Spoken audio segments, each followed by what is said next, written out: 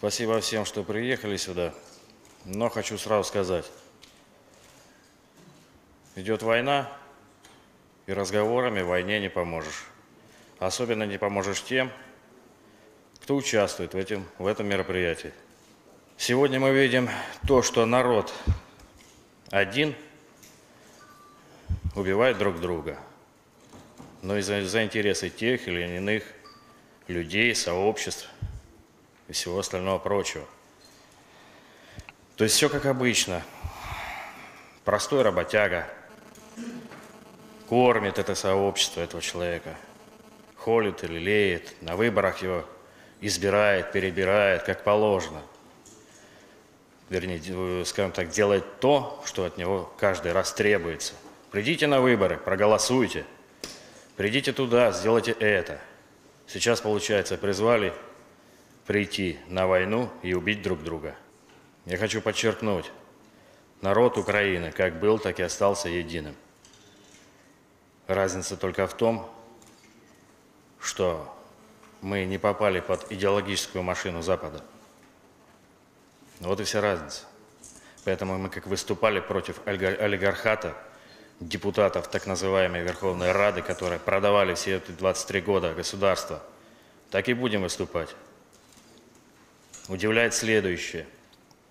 Почему граждане других областей, других регионов Украины, выступавшие на Майдане с теми же идеями, которые у нас сейчас, идут их защищать? Вот это идет, конечно, в разрез со всем пониманием и здравым смыслом.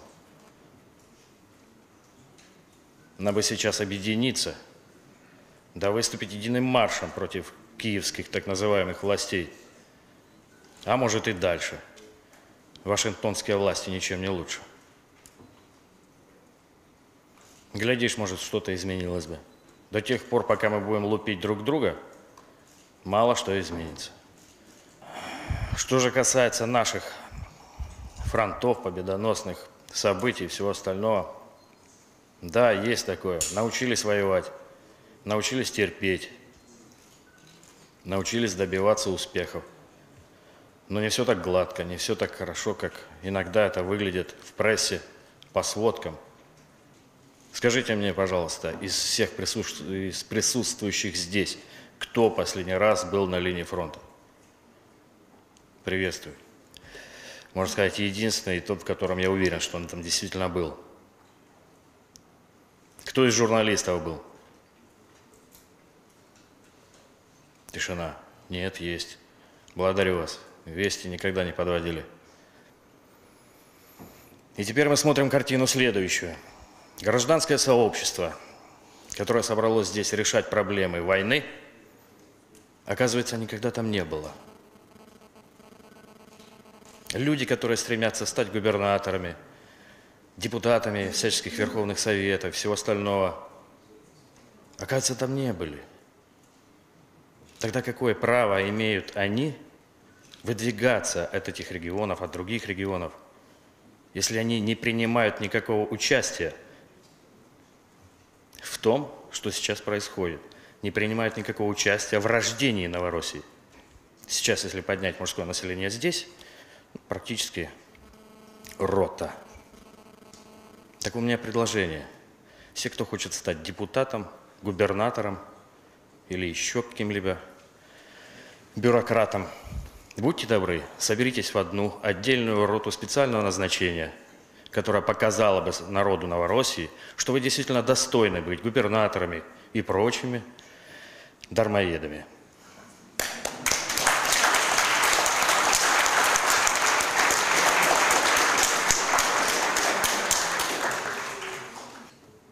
На сегодняшний день у нас больше кандидатов из рядового состава, из состава командиров взводов, командиров рот, для того, чтобы занимать кабинет и представлять народ Новороссии.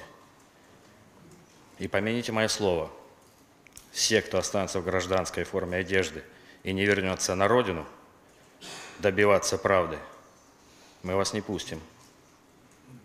Не пустим, не пустим. Не надо улыбаться. Новороссия случится, несмотря ни на что. Несмотря ни на большие жертвы, несмотря на то, что большой отток беженцев, а вместе с ними и так называемых руководителей, она случится. Несмотря на все финансовые трудности у нас и финансовое благополучие олигархов, она случится. Несмотря на все информационные войны, она случится, еще раз повторяю, как бы кому ни хотелось. Она будет. Но будет действительно с народовластием, будет действительно с тем порядком, за который мы сейчас боремся и проливаем кровь. И никто другой, кроме тех, кто сейчас проливает кровь, не имеет права претендовать на малейший кусочек власти в новой республике.